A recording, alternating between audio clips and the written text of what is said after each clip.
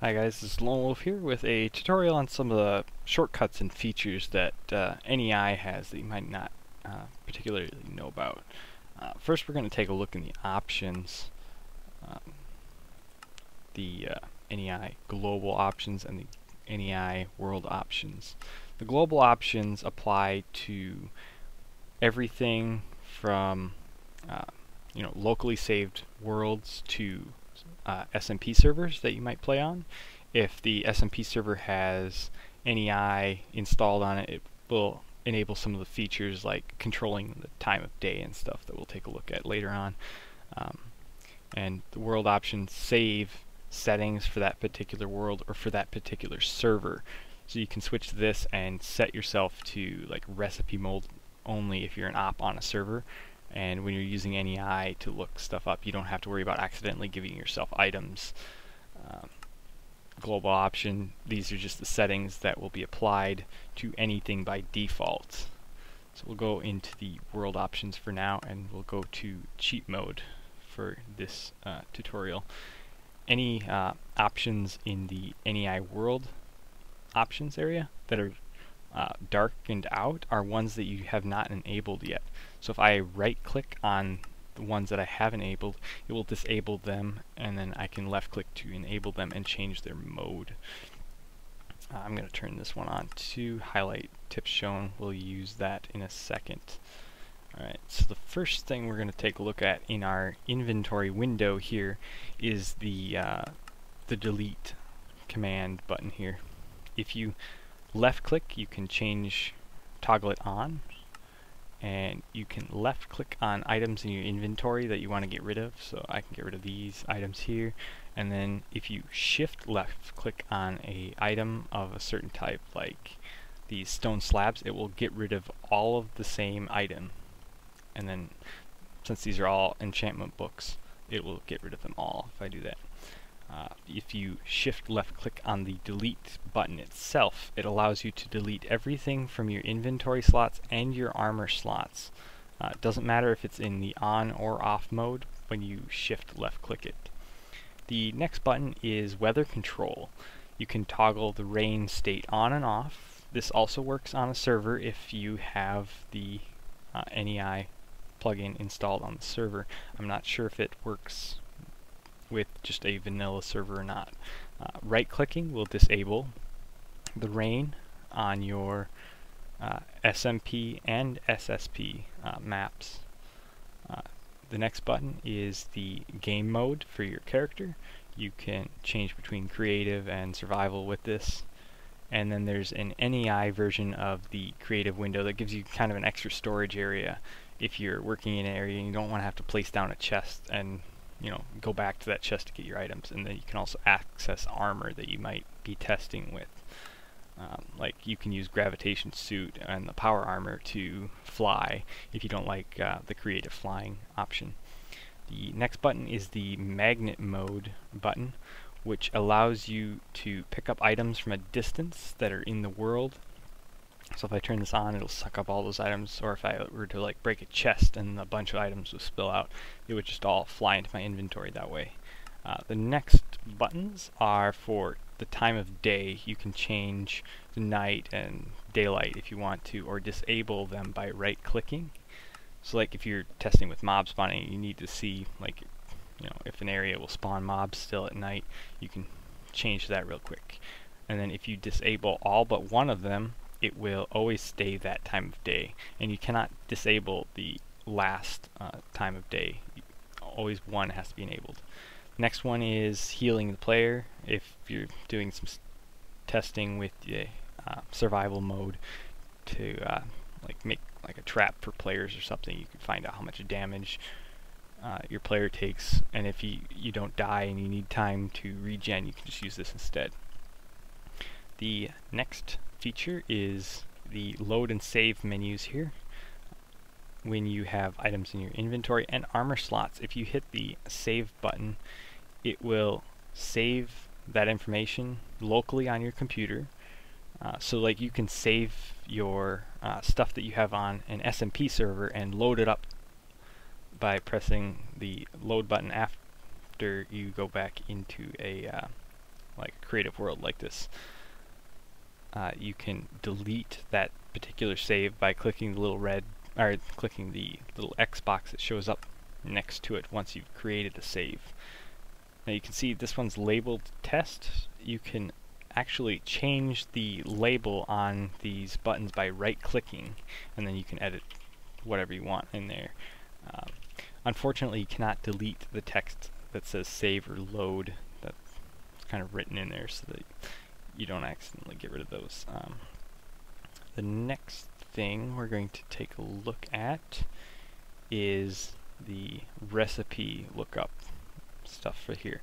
And I'm going to go to the options real quick to the controls so that you can see these are some of the keys I'm going to be using for uh, looking up the recipe and looking up the usage when I'm in uh, cheat mode. You can use uh, left click to look up the recipe and right click to look up the usage when you're in recipe mode only. So if we go back to these settings and we go to recipe mode, uh, when I'm using the mouse to hover over the items on the right side of our screen here, I can left click and right click to actually look up the, the recipe and usage of them. And previous recipe, that is if you look up multiple recipes at one after the other, it allows you to back up through them and then enchantments and we're going to look at the rest of these a little bit down the road here. So first off, if I uh, use the hotkey U for usage or right click, I can find out what I can use cobblestone on. So I can make furnaces and stuff. And then if I do it again on the furnace, I can find out what a furnace can make. So I can make a furnace minecart. And then if I wanted to go back to the previous recipe I just looked up, I'll use that hotkey for the, the back recipe, which was uh, previous recipe, which was my delete key in this case. Uh, the next thing, we'll go back into the options here, is the enchantment window. This is nice if you're doing uh, custom maps and you want to put enchantments on an item like a sword. Oop, I need to go back to uh, cheat mode here. there we go, give ourselves some swords, or I think it even works with other items, so we'll get some sticks here too.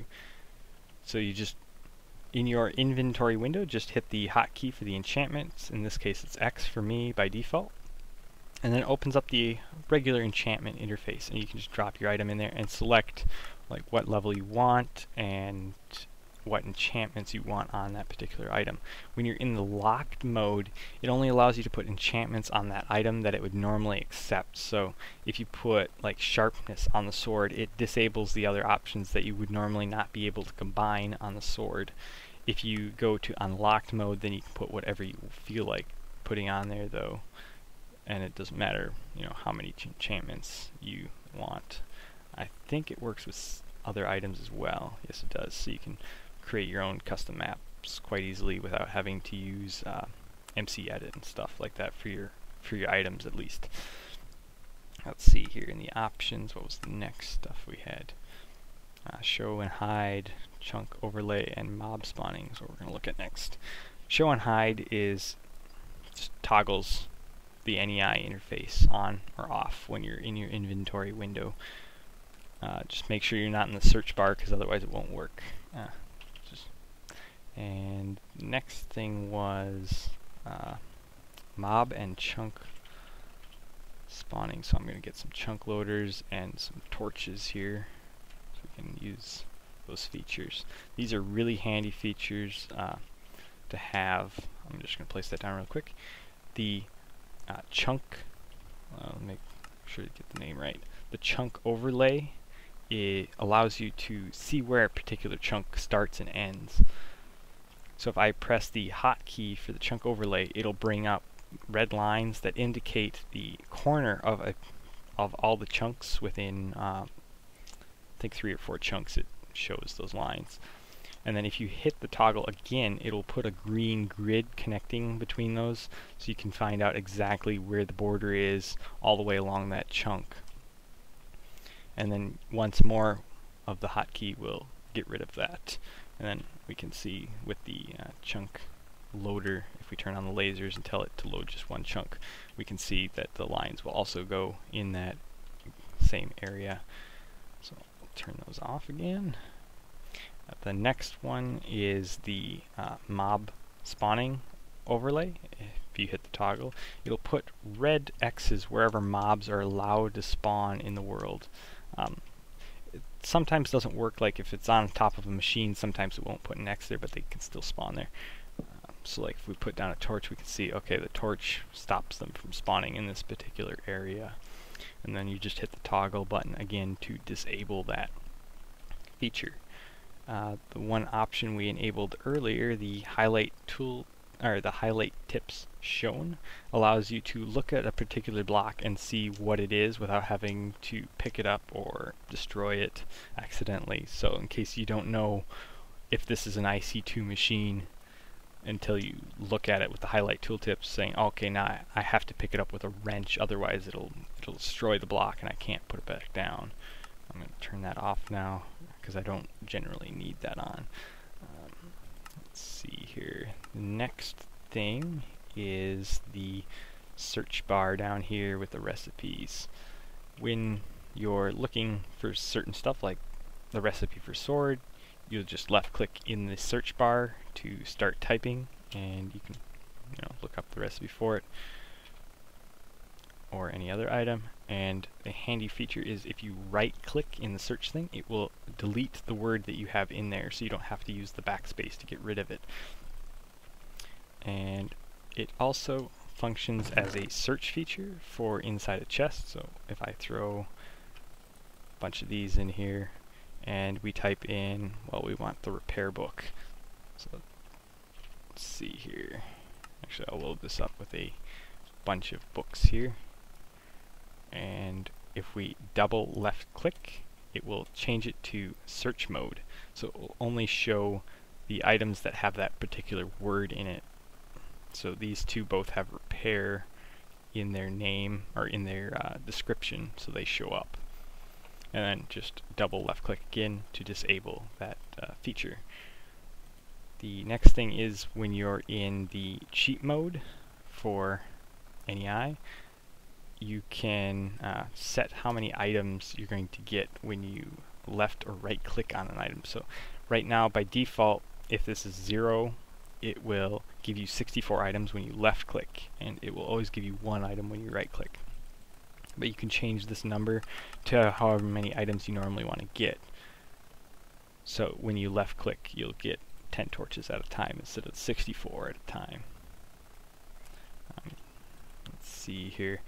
Next thing is the item subsets. This is kind of handy if you're looking for particular mods set of blocks but you don't know which blocks are actually to that mod. You can go in here and find out like okay this one is Minecraft's default stuff or Minefactory Reloaded. Here's all the machines and stuff that that mod adds. So you can find out what they are and if you double left click on this tab it will deselect the rest of them so you can see just the recipes on the right hand side there that are for this mod.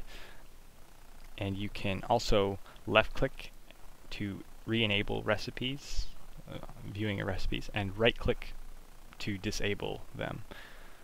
And then there's a whole bunch of sub menus that you can do the same thing in. So you can look for particular machines in that one mod and it will semi gray it out uh, the next thing is you can right click item submenus and save and load those particular uh, modes. Like right here if I enable items and I disable blocks I can save that by right clicking and save it here just like you would your inventory. So I can save those and then I can load up a different set. And then I can go back if I need to find those particular mod items. Really handy features very, very handy. Uh, you can do the same thing where you can relabel them as well, just like with your inventory saves. And I think that wraps up everything I know. If you guys have any, uh, you know, tips or shortcuts that you know about that I did not cover, uh, please let me know, because I'd like to, to know all those. So, hope you guys uh, learned something. See you later.